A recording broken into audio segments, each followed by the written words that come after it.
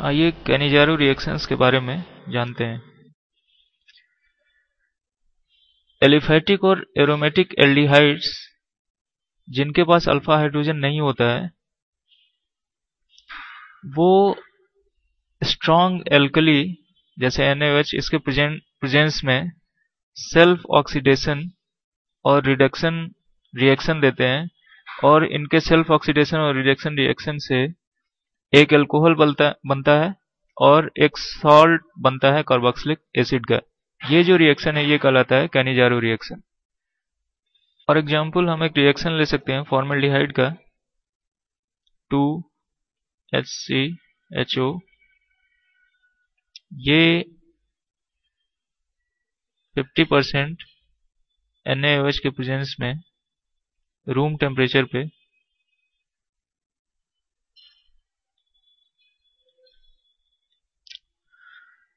Room temperature पे किसमें convert होता है? Formate ion H C O O minus और इसके साथ एक एल्कोहल बनाता है C S three O H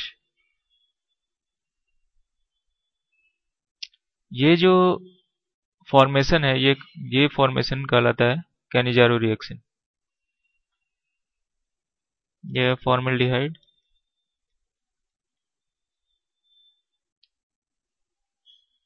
ये बना फॉर्मेट आयन और ये है मिथेनॉल ठीक, इसी तरह एरोमेटिक एल्डिहाइड के केस में हम ले सकते हैं। Two, A R.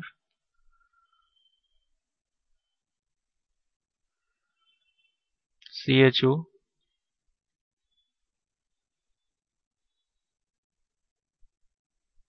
ये 50 परसेंट एन के प्रेजेंस में कन्वर्ट होता है। A R C O O minus plus C H two O H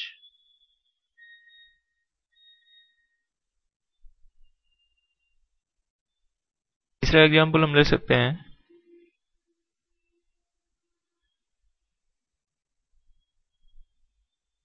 मेटाक्लोरोबेंजल्डिहाइड का सी एच ओ सी एल ये 50 परसेंट के के प्रेजेंस में कन्वर्ट होता है metachlorobenzoate ion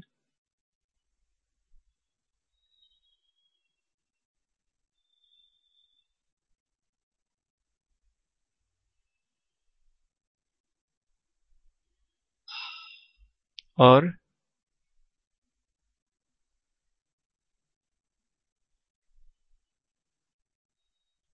chloro benzyl alcohol में C S two O H C L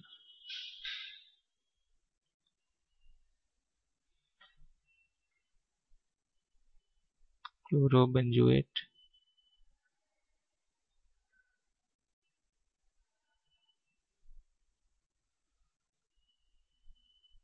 और ये बन गया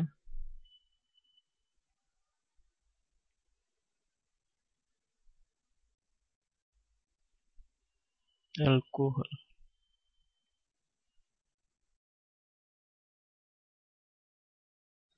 आइए देखें कनिजारो रिएक्शन किस मैकेनिज्म को फॉलो करता है? फ़र्स्ट स्टेप अगर हम लें, इसमें सबसे पहले जो होगा, वो क्या होगा? फॉर्मेशन होगा हाइड्रोक्साइड आयन का। और हाइड्रोक्साइड आयन कैसे फॉर्म करेगा? ये जो NaOH सिस्टम में प्रेजेंट है, ये आयनाइज होगा Na प्लस और ओ OH माइनस में। ये हाइड्रोक्साइड आयन बन गया। अब ये जो हाइड्रोक्साइड आयन है, ये अटैक करेगा किस पे? वो जो एल्डिहाइड हमने लिया हुआ है। और अटैक करके क्या होगा? कौन सा रिएक्शन होगा? न्यूक्लियोफिलिक एडिशन रिएक्शन तो अब इसका हम ले सकते हैं। अब होगा nucleophilic addition of hydroxide ion to aldehyde और वो कैसे होगा? तो यहाँ हम देख सकते हैं। ये ये हमने एक एल्डिहाइड लिया aromatic aldehyde C double bond O H और ये हाइड्रोक्साइड एन अटैक कर रहा है। अब यहाँ देखिए, ये जो अटैक होगा, ये किस पर डिपेंड करेगा? ये मोर इलेक्ट्रोनिगेटिव एटम है तो एक परमानेंट शिफ्ट होगा इलेक्ट्रॉन का ऑक्सीजन पर। तो यहाँ एक पॉजिटिव चार्ज जनरेट होगा, ये जो साइट है। और ये जो पॉजिटिव चार्ज है, ये अट्रैक्ट करेगा न्यूक्लियोफिलिक एडिशन रिएक्शन के लिए। तो ये यहाँ आके अटैच हो जाएगा। तो ये फ़र्स्ट स्टेप में आपका सबसे पहले एक इंटरमीडिएट बना। और वो इंटरमीडिएट क्या है? A R C negative charge H O H तो ये बना इंटरमीडिएट ए सेकंड स्टेप में फ़र्स्ट स्टेप में जो इंटरमीडिएट बना ये intermediate C O minus H O H ये अब और जो प्रेजेंट उसमें एल्डिहाइड्स हैं, उनके साथ रिएक्ट करेगा, और रिएक्शन कैसे होगा?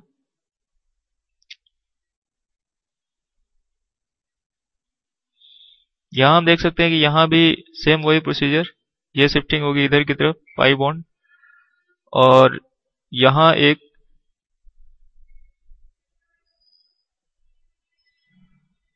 और ये जो हाइड्रोजन है, वो एब्स्ट्रैक्ट किया जाएगा इसमें से।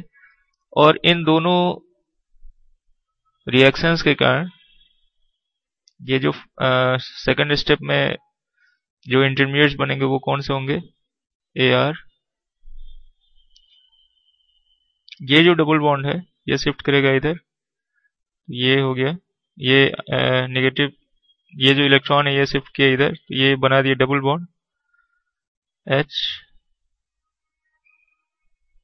O H ये हाइड्रोजन एब्स्ट्रैक्ट किया जा चुका है। और इसके अलावा बनेगा दूसरा इंटरमीडिएट सी ये जो इलेक्ट्रॉन शिफ्ट हुआ है, ये शिफ्टिंग ओ माइनस और ये जो एब्स्ट्रैक्टेड हाइड्रोजन है, ये यहाँ आके अटैच होगा। अब यहाँ पर हाइड्राइड शिफ्ट से दो आपके इधर बन जाएँगे formate ion minus H plus तो ये बनेगा ए R C O O minus, और यहाँ क्या होगा? एडिशन होगा, एच प्लस का। तो ये क्या बनाएगा? A R C H two H